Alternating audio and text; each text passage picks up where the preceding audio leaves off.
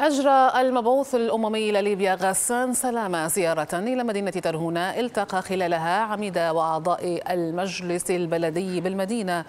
ورئيس مديرية الأمن ووفقا لمراسل قناة النبأ في المدينة فإن اللقاء الذي جرى بين سلامة والمجلس البلدي ومديرية الأمن ناقش